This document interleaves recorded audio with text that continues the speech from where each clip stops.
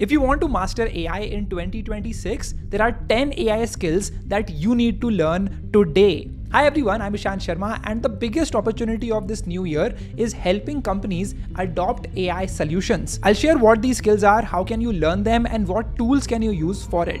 The first skill is prompt engineering. The more explicit the prompt, the better the output. No matter if you're using ChatGPT, Nano Banana Pro, creating videos with Veo 3, the biggest thing you will face is entering a concise and explicit prompt to get the best output possible. And that's what prompt engineering is all about about. It's all about giving these AI models enough context about the problem that you want to solve so that it gives you the best output, which is great for your use case. The easiest prompting technique for ChatGPT is RTCROS. I've talked about this before. You first give it a role, give it a task, give it context, give it how do you want to reason through this problem. You give it the output format and at the end you give it a stopping condition. And if you want to create better images and videos using Nano Banana Pro and Veo 3, it's all about how structured your prompt is. Everything from the scene, from the color to the aspect ratio, the text that you want, the font that you want, all of these things add up in your prompt to make sure that the output is better than ever. Skill number two is building AI agents. These are automated systems that can perform end-to-end tasks for any use case. There are several tools like LangChain, Crew AI, Agent Kit from OpenAI that enable you to build these AI agents end-to-end. But at the core of it all, it's simply a AI model like ChatGPT or Gemini or Claude, which has access to memory, so it has context, and it also has access to tools with which it can perform several tasks.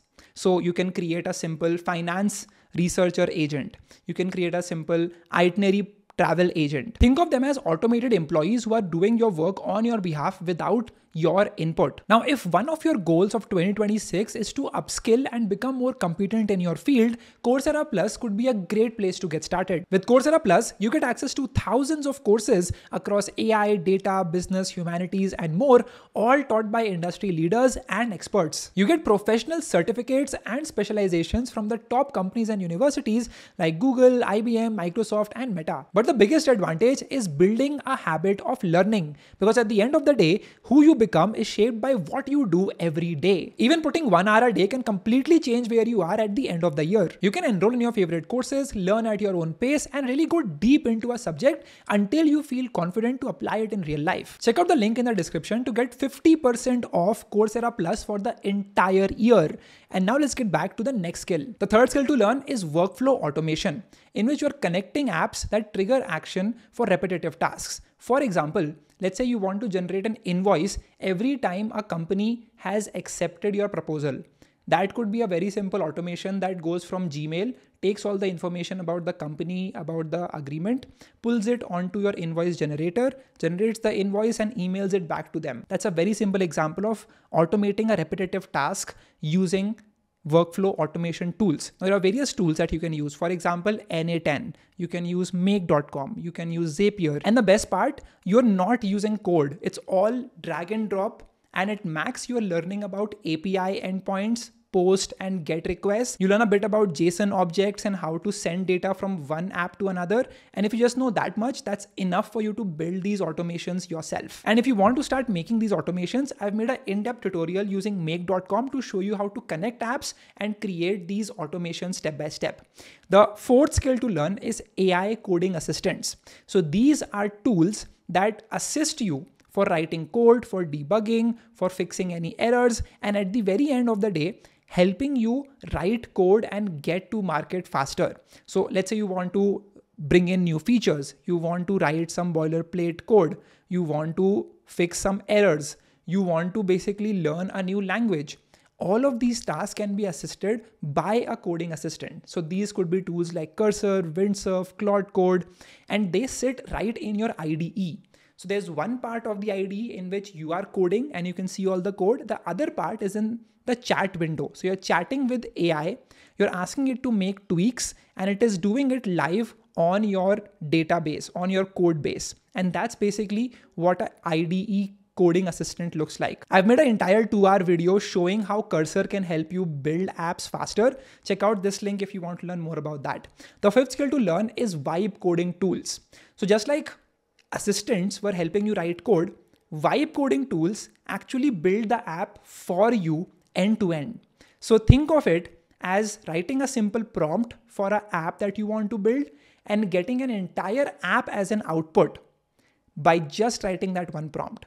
So these are tools like Replit, Lovable, you have Emergent, you have Anti Gravity by Google, you have AI Studio. Without writing a single line of code, you can build entire websites, entire mobile apps, you can publish them, people can use them, you can add payment gateways, you can add login authentications. All of this by just typing plain English. That is the power of vibe coding tools.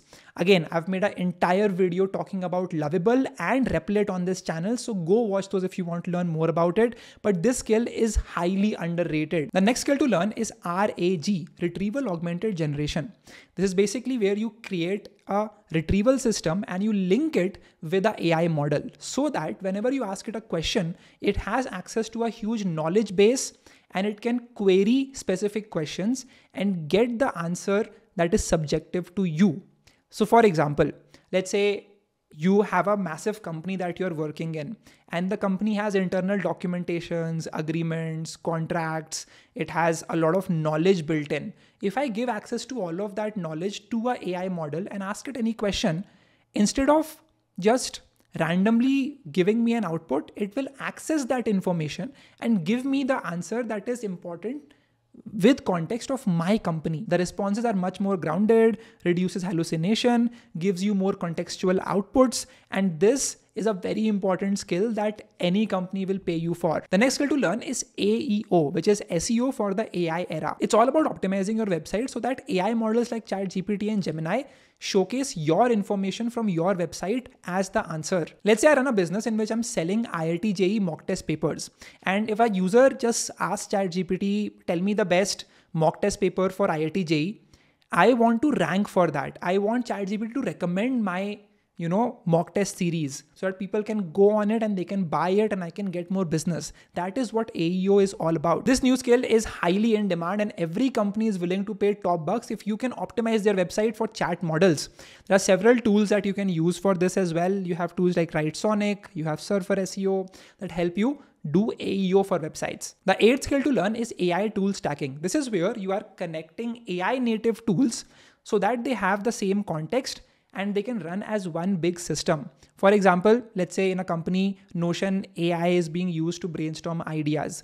Airtable is where they are keeping track of all of their clients. And they're also using ClickUp for marketing purposes. Now, your skill is in connecting all of these AI native tools. So let's say, how can Notion AI communicate with ClickUp? How can ClickUp communicate with Airtable? That's basically what AI tool stacking is all about. And there are so many companies who are using so many services, but they want it all to be connected. They want it all to communicate with each other, and that's where this skill comes in handy. The next skill to learn is AI content generation. This is all about creating content at scale without having a huge overhead of people that you've hired. There are tools like Opus AI that help with repurposing reels, 11 Labs for generating AI voice, there is HeyGen for creating AI avatars. There are AI video editors also popping up that allow you to edit videos to create content, posts, videos, reels. You create an end to end pipeline so that one company can just enter an idea for a content piece. It then turns into a script, which then turns into audio, which gets connected to HeyGen, generates the AI avatar video, and then a video editor can then edit that video. A massive podcast which can automatically be cut down into various different clips using Opus Clips. That's the kind of skill that AI content generation is all about. And the last skill to learn is LLM observability. All companies today are using AI for something or the other, but they want to know how is AI impacting their bottom line? What are the costs? What are the outputs of AI tools in their organization? And that's where LLM observability comes into the picture. So you build a dashboard where any company can see how is AI being used in customer support? How is it being used in sales?